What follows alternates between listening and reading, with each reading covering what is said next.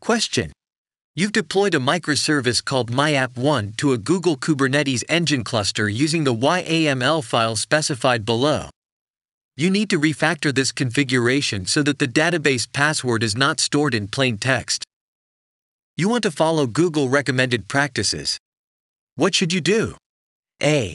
Store the database password inside the Docker image of the container, not in the YAML file. B. Store the database password inside a secret object. Modify the YAML file to populate the db underscore password environment variable from the secret. C. Store the database password inside a config map object. Modify the YAML file to populate the db underscore password environment variable from the config map. D. Store the database password in a file inside a Kubernetes persistent volume and use a persistent volume claim to mount the volume to the container. Now think 10 second for the answer.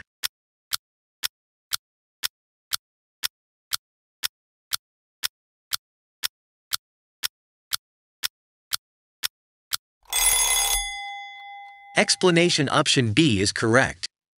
It is good practice to use secrets for confidential data, like API keys, and config maps for non confidential data, like port numbers.